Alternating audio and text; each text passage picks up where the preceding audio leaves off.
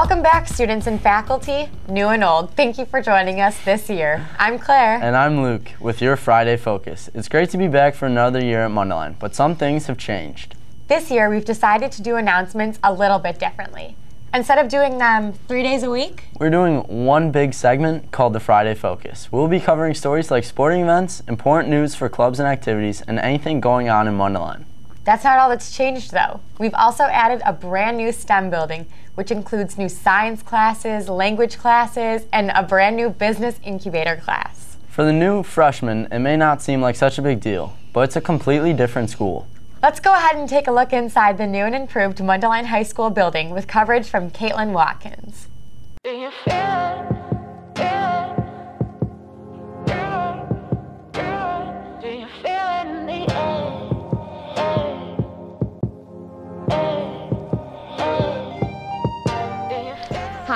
My name is Caitlin Watkins, and I'm standing here in the new C Wing, which has been in planning for over three years. I got a chance to talk with Dr. Greenwood, who told me about the opportunities that this building has to offer. The new building at Mundelein High School provides our students with opportunities to experience what it's like in careers in business, engineering, science research. These programs are pretty cool because it gives our students a head start if they want to go into college or even get an entry-level position in these careers. I was also able to get a student's opinion on the new Business Incubator class. So currently I'm in Business Incubator, which so far is a really cool class. It allows us to gain real-world experience by having mentors and coaches come in and teach us. And it also allows us to form groups to mock real-world businesses and have us potentially gain investors to start up our business. Not only has the new building helped its prospective students, but other activities as well.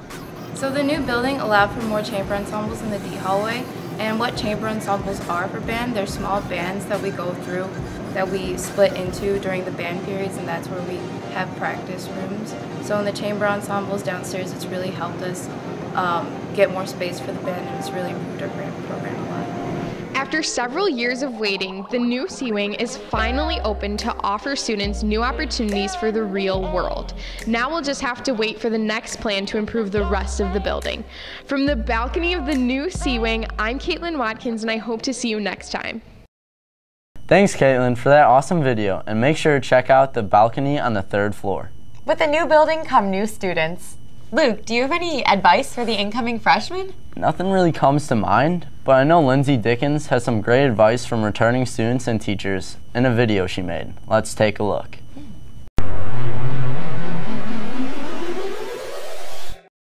Advice for incoming freshmen. Hmm. My advice for incoming freshmen is to make sure you keep track of your grades and keep up with them because freshman year grades matter. Get involved. Join a team or a student organization. Become active in the school because students who are active in the school do better in school because they like it more.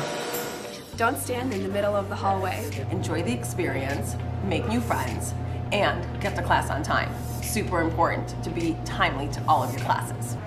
Walk on this side of the hall, and if people are coming at you, you gotta weave through. During class, don't use your phone. What? My advice for incoming freshmen is do not procrastinate on your homework. Keep organized. So use those planners, make sure you're turning everything in on time, and you'll be good to go. Some advice I'd give the freshmen is to avoid the band hallway. It gets really busy during passing periods.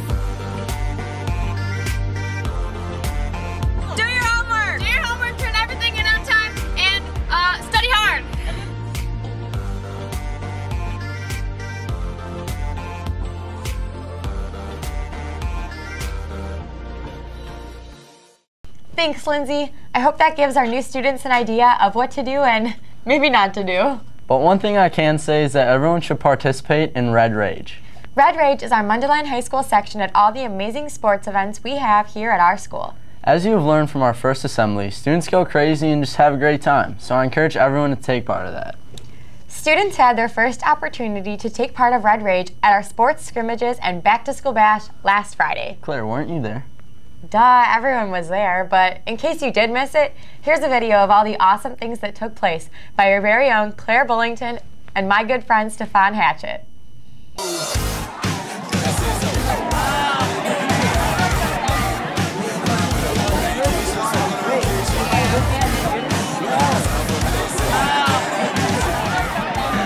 Stefan Hatchett here, here at Mundelein High School's third annual Back to School Bash. Behind me is the student section, Red Rage, and we're excited to see what tonight has to offer. The night started out with scrimmages between volleyball, soccer, and football. These games gave a sneak peek of their upcoming performance in the season. We got the chance to talk with Coach Calhoun with what we can expect from football. From tonight's scrimmage, the first thing I was happy we, we played hard and we didn't get hurt, nobody's injured. As far as the rest of the season's concerned, I mean, I'm not going to guarantee anything except that we're going to compete and we're going to play hard and we'll have a chance to win every time we step on the field. That's that's what I expect.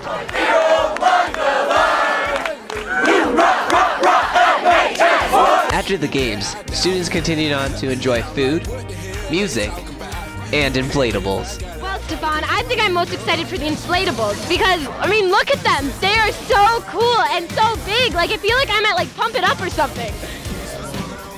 While students were playing human foosball and after an unfortunate accident, students could also enjoy dunking their friends and Mundelein faculty.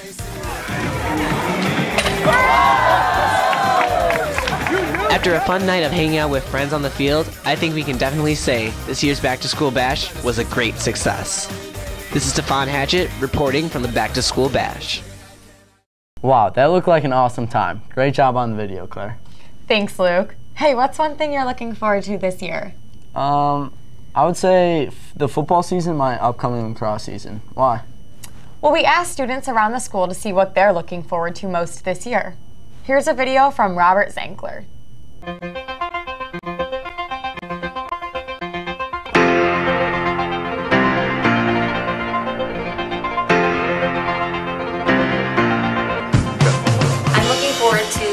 My new students because I can't wait to have a new group of AP psychos. I am so excited this year about the new wing, the new addition to see what everyone's doing up there.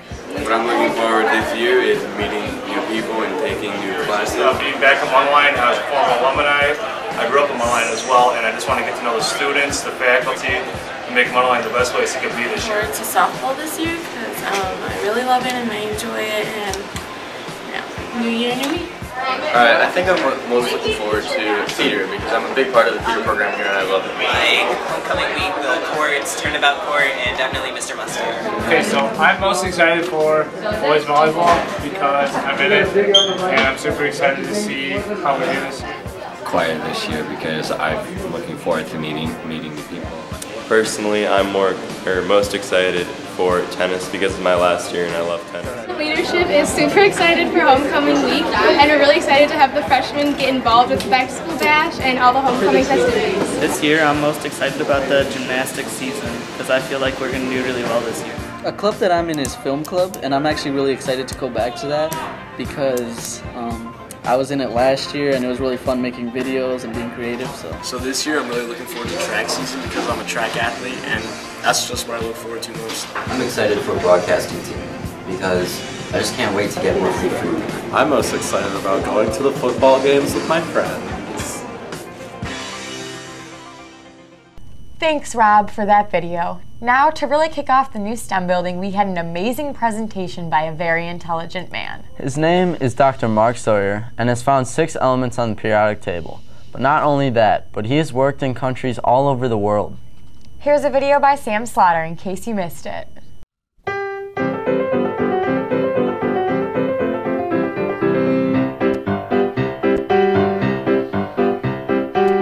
Hi, I'm Luke Loading with MANE TV's Friday Focus. Today we are joined by Dr. Mark Stoyer, who is involved in the Nuclear and Chemical Science Division and has discovered six elements on the periodic table with his heavy metal team. He is here to see our new STEM building and the students taking the new classes. I think it's uh, fantastic. Uh, I wish I had uh, such a facility when I went through high school. The students seem very excited to see what he has to say today. What I found exciting is how you find an atom and how you find how to create different atoms. I found that really interesting. Um, I just enjoyed how he explained how they synthesized the element and the scientific process behind it. There's yttrium, ytterbium, actinium, rubidium, and boron, gadolinium, niobium, iridium, and strontium, and silicon, and silver, and samarium, and bismuth, bromine, lithium, beryllium, and barium. I'm going to tell you how we turn some elements into other elements. So it's the sorcery of synthesizing new elements. It looks like a lot of students enjoyed and took a lot out of this presentation, so back to you guys in the studio. Wow, that anchor looks so good. Great job, Sam. So full of knowledge. but speaking of knowing things, let's jump to Greg for a segment we like to call Now You Know. Good morning, Mustangs. I'm Greg with Now You Know. Homecoming is just around the corner and tickets go on sale on Monday, August 29th. Get them for $10 if you buy them within September 2nd, or you can purchase one for $12 all the way to September 9th. The theme this year is Under the Sea. Picture day will be Wednesday, August 31st, and you will be dismissed during one of your class periods to go have your picture taken. Remember to smile big and look sharp. Broadcasting team has their first production next week at the home opener football game. If you missed yesterday's meeting, that's okay. Just stop by room A213 and talk to Mr. Meister. No experience is necessary. Any student interested in playing water polo, there is open gym on Tuesday and Thursday morning from 6 to 7.15 a.m. on August 30th through November 17th. If you have any questions, see Mr. Gates in B130. Any student that has not gotten their yearbook, pick up at the bookstore, so make sure you see Miss Olson. Also, if you want to pre-order your 2016-2017 yearbook, you may do so by September 30th for $50. Come join the Frenchies for a little French fun. French Club meets every other Thursday in room C106. Next meeting is Thursday, September 1st. See Miss Ambry or Miss Bray for details. You don't have to speak French to join. If you are interested in eating, creating, or critiquing videos, consider joining Film Club. Their first meeting will be on Thursday, September 15th. Do you want to be a wrestler? Well, open mats will be every Tuesday and Friday from 6 a.m. to 7 a.m. Anybody's welcome. Lastly, for all you mathematicians, math team will meet September 14th. See Mr. Lerner for more details. I'm Greg with Now You Know, and now you know. Back to you guys. And now you know. Thanks, Greg. Ah, and now for the best part of the school year football. I agree. I can't wait for the games, but actually, there's one today. That's right. Catch your Mundelein Mustangs take on Elgin Larkin at 6:30 on their home turf. Everyone should be wearing beach-themed clothing to make our Red Rage student section stand out. However, since the game's far away, the school decided to help everyone out by having a bus to take the fan section to the game in our beach attire. The bus will be at the front of the school and leave at 5. But first, let's take a look at this year's football team and maybe get a little pumped up for tonight by taking a look at this video made by Rachel Tipwriter. So you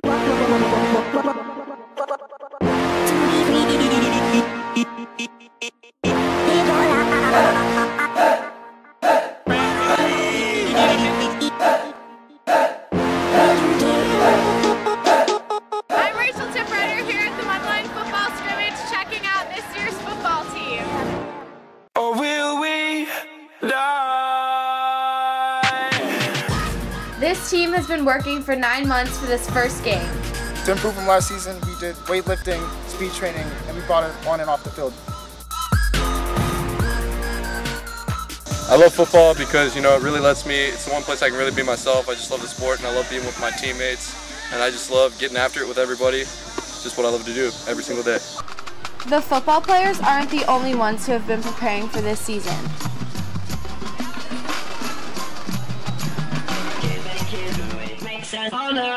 faster, stronger, Red couldn't be more excited for this year's football season.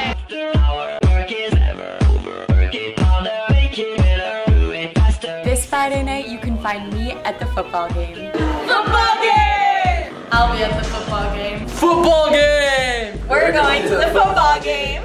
Make a football game. I'll be at the Mundelein football game. Football game! I'm going to the football game. Football game. Proud to say, this Friday, me and my boy will be playing football game. We messing it up. Let's go, baby! Thanks, Rachel, for that amazing video. That's all we have for your first Friday Focus. We hope you enjoyed our new morning news format. But in the meantime, I'm Claire. And I'm Luke with MANE TV. Have a great day, Mundelein. We'll see you next week.